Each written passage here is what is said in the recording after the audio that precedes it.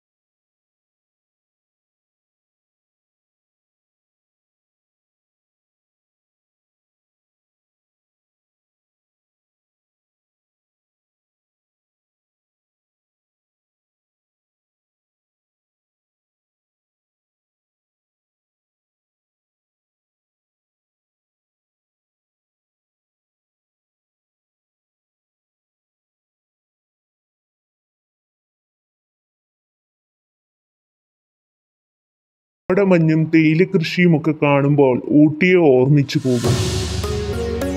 പാലക്കാട് നഗരത്തിൽ നിന്ന് അറുപത് കിലോമീറ്റർ സഞ്ചരിച്ച നെല്ലിയാമ്പതിയിലെത്താം. വഴിയിലെ തേയിലയും തേയിലത്തോട്ടവും ഏലത്തോട്ടങ്ങളും കാപ്പിത്തോട്ടങ്ങളും കണ്ട് ഒരു യാത്ര.